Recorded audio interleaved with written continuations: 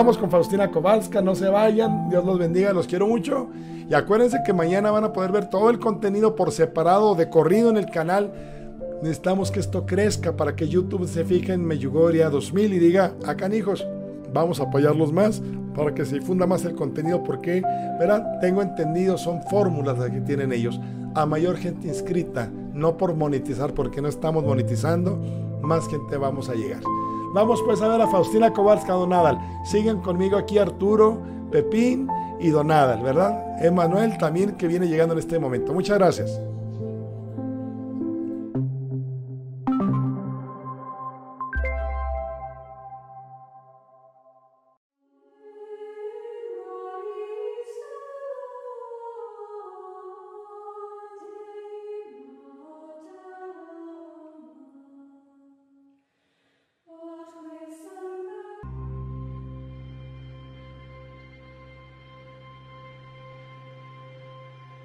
Una noche, mientras oraba, escuché la voz de Dios.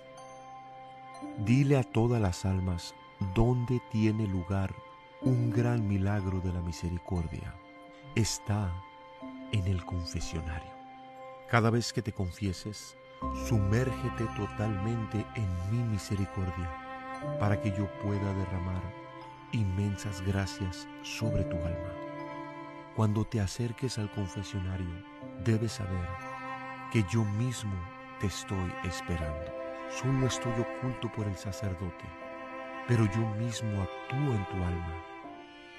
Aquí la miseria del alma se encuentra con el Dios de la misericordia. Sí, mi Señor, lo haré. Dile a las almas que se confiesen, esta es mi fuente de misericordia mi sangre y agua que brotaron de mi corazón. Siempre fluye sobre las almas y las hace hermosas. Les devuelve su belleza original al estar en mi gracia.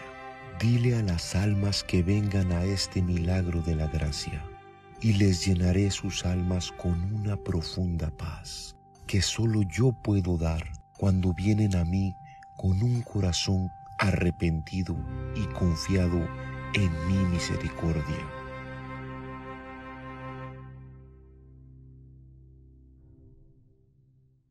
Hoy experimenté una gran pena a causa de cierta persona.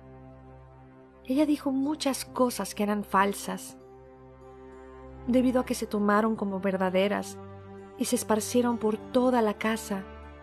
En mi corazón sentí un dolor agudo. Entonces escuché a Jesús hablar en mi alma. Ora por tu hermana que te ha lastimado y muéstrale una gran bondad.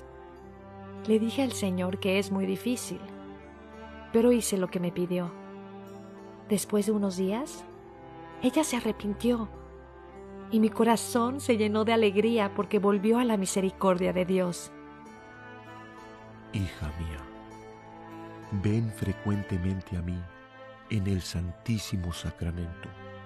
Vivo aquí en el sagrario como un rey de misericordia, para derramar gracias sobre todos los que vienen aquí a pedir mi ayuda, especialmente para aquellos que necesitan mi amor y perdón, porque allí estoy escondido en la hostia, y es ahí donde está tu poder en devolver a los pecadores hacia mi misericordia y amar como yo amo y perdonar como yo perdono.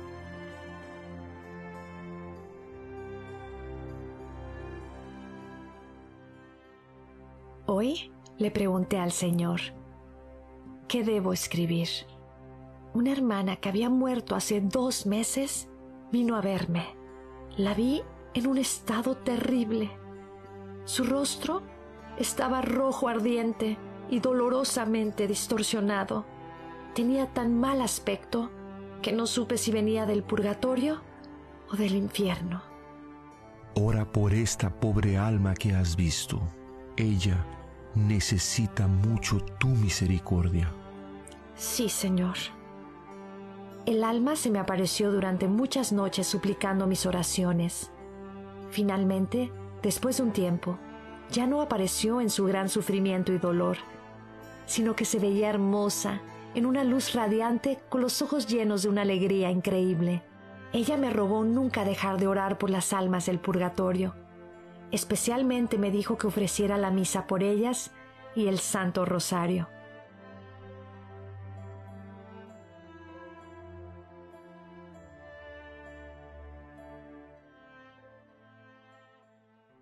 Mi querido Señor que estás escondido en el Santísimo Sacramento, mi hostia viva, eres mi todo.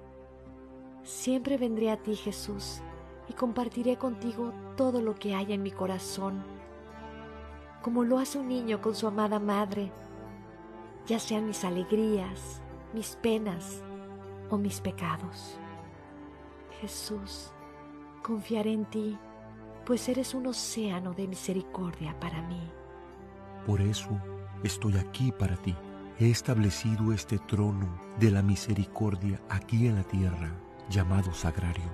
No está rodeado de guardias o soldados al que no puedes venir, sino por ángeles.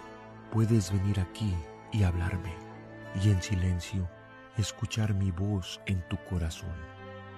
Dile a todas las almas que espero que me visiten aquí.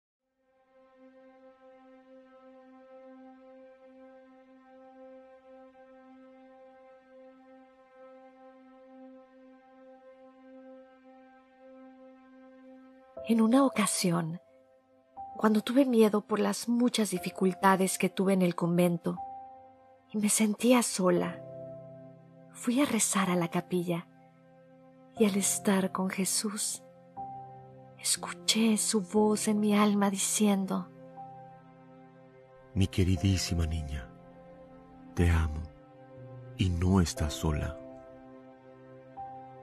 Me alegro que hayas venido aquí para estar conmigo en el silencio de la capilla. No solo quiero hablar contigo a menudo, pero dile a los demás que quiero hablar con todos los que se acerquen a mí en la oración. Recuerda mi voz es suave y gentil. Necesitas el silencio para escucharme. En ese momento sentí que todos mis sufrimientos y pruebas eran nada para mí, porque estas palabras de Jesús resonaron profundamente en mi corazón. No tengas miedo de nada ni de nadie. Siempre estoy contigo siempre estoy contigo.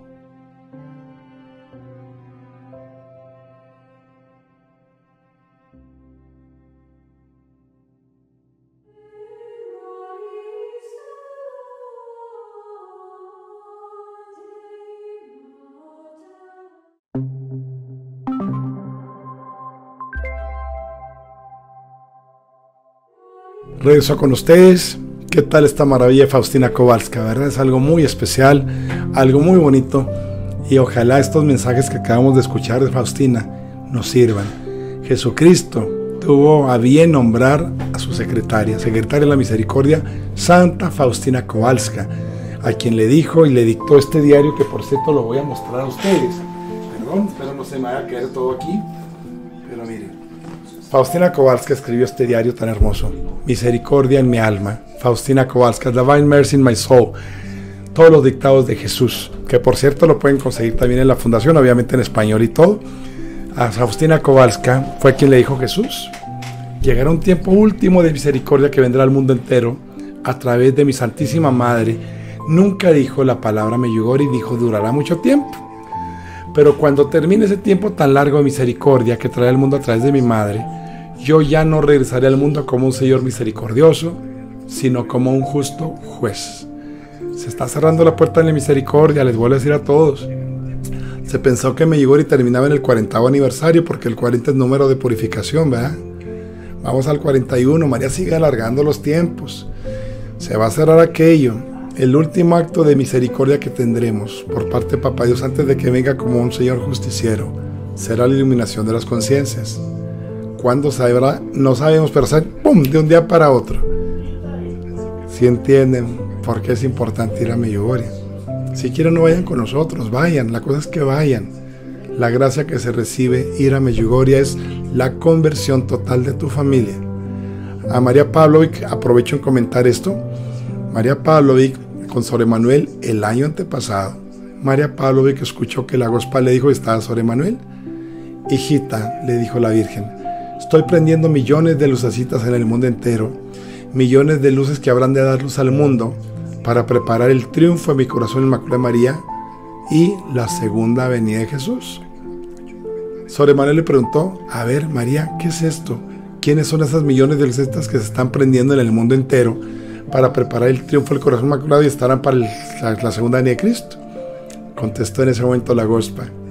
Cada uno de mis hijos que escuchó el mensaje en su corazón de venir a Medjugorje porque soy yo quien los invita, no cualquiera va a Medjugorje, y no se resistió vino, llevarán la luz a su familia, a sus seres queridos, a toda su sangre, y ellos serán testigos del triunfo del corazón inmaculado. Dirán, bueno, Carlos, también hay algunos que me van a decir, ahorita es que yo no puedo ir a Medjugorje.